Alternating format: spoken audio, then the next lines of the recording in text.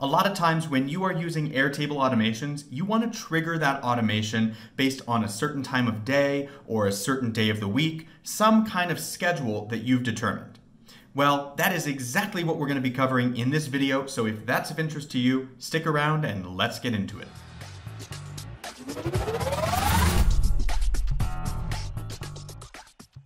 Hey, my name is Gareth Pronovost. I am the owner at Gap Consulting, where we help you to organize and automate your business and life.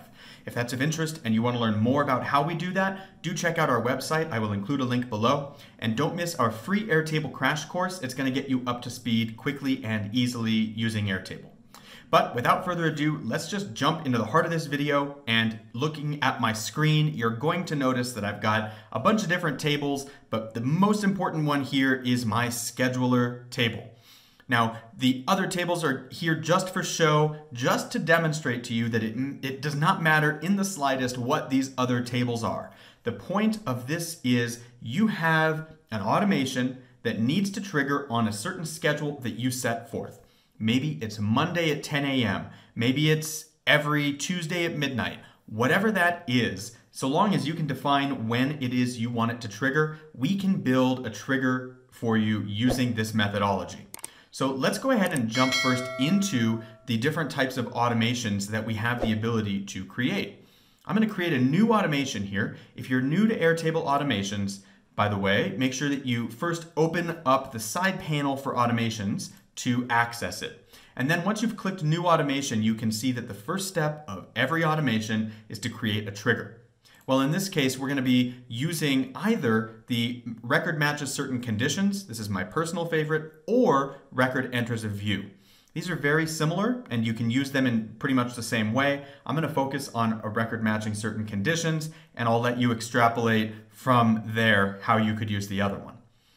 But the bottom line is this. A lot of other third-party automation tools, they have schedulers baked into their automation system. And hey, maybe at the time that you're watching this video, if it's a year from the date of filming, maybe Airtable has gone ahead and built a scheduler trigger inside of their automation platform. But at present, they don't yet have it. So we have to improvise. And here's how we do it. First and foremost, I have a scheduler table. And all that I'm doing in this table is using a formula here, and in this case I'm using the now formula. You could also use the today formula if time is not of essence to you. In our example though, I want to imagine that something is going to trigger at a certain date and time, not just a particular day of the week. So just know that you could also use the today formula, but in this case I'm using the now formula, and the output from now, or from the now formula, is always going to be pretty darn close proximity to this instant in time. So this is constantly updating in the background. It's not always exactly perfect, it's not to the minute, but it's pretty darn close, it's within a couple minutes, and that's gonna be more than sufficient for our needs. So the first step is to build that formula in one record. Now I should pause here and say that this table, again, it serves no function in our database other than running our automations. So we don't want any additional information ever to make its way into this table. And so to prevent that from happening, you can also then create some table permissions. And this is going to say, hey, listen, I don't want anybody to accidentally create new records in this database. And so you can go ahead and turn that off so that you never have to worry about additional records being created and you can also do the same thing here for deleting. You don't want anyone to delete this record either because what you're doing, you're telling your automation to watch this one record and when it meets certain conditions, i.e. Monday at 10 a.m., that's gonna be the trigger, okay? So again, just a little pro tip, let's get it out of the way. If it's helpful to you, it's certainly something I would recommend turning off the ability for people to add or delete records from this particular table. Okay, once you got that out of the way, now you can build some formulas that bring in extra information so that whatever that trigger mechanism you're looking for is, it gets met here. One of the things that you might want to bring in is a weekday formula. So in this particular case, I'm using a weekday formula that's looking at our current date and time, and it's setting it into my time zone. And this is an important step here because if you are not setting it into your time zone, it's more than likely that this automation is going to be using Greenwich Mean Time. Even if you've toggled off GMT, it's very likely that it will still be using it. So just be aware of that. You will want to use the set time zone formula. So this formula looks a little complicated, but if we take it one step at a time, what it's doing is it's finding the weekday of the current date and time. But before it finds that weekday, it's setting the current date and time to my time zone, which is mountain time. I am just outside of Denver, Colorado. You will want to adjust this so that it is relevant to you. So America slash whatever big city or you know whatever whatever uh, continent you're on. Just go ahead and look at Airtable support docs for the time zone formula to find out how you can bring, in your particular time zone. So that will be unique to you. But the main point here is it's returning a weekday from this date and time. So here it's looking at 12.6 and it's bringing a weekday of zero. And so the output of this is always going to be either zero through six. So zero is Sunday, six is Saturday, and I'll let you guess what's in between.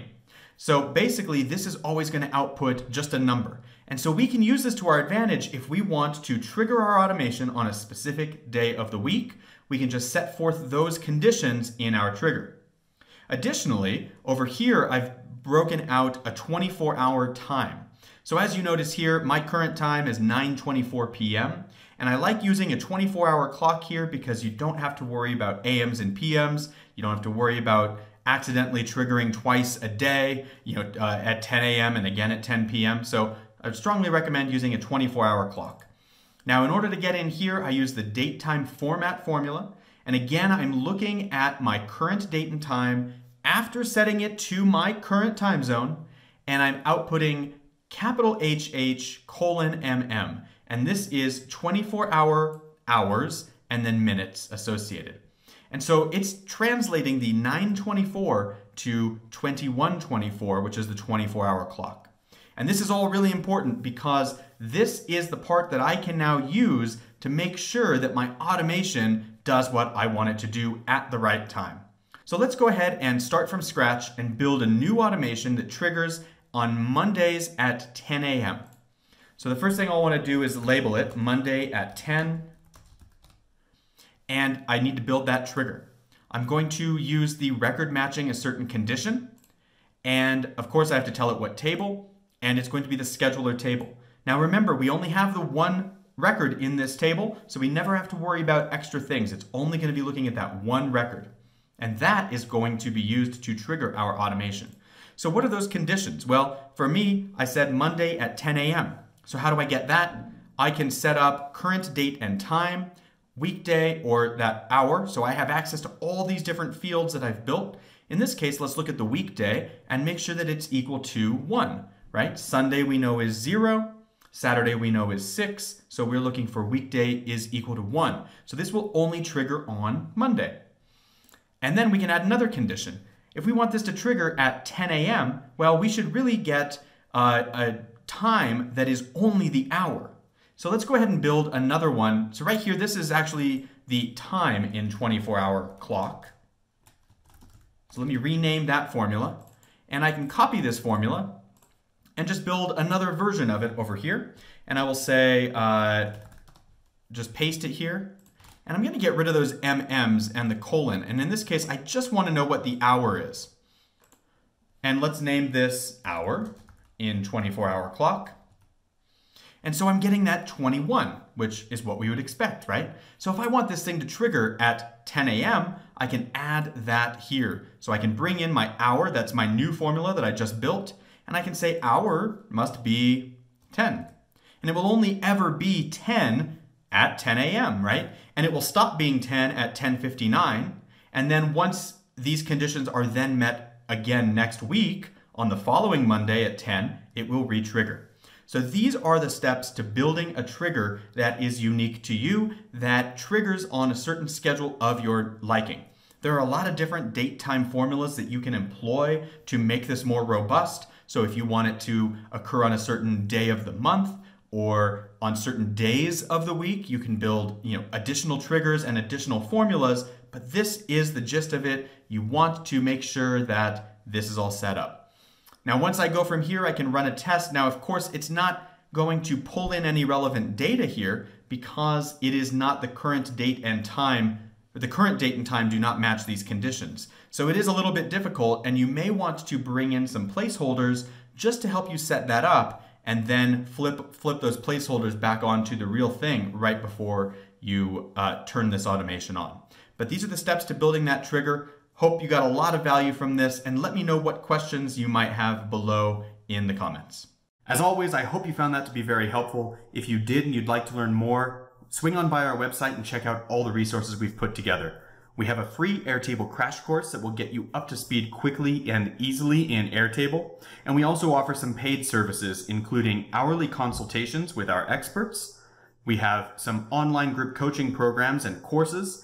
And for the very advanced needs, we can build a bespoke project for you from scratch. So swing on by, and I look forward to connecting with you soon.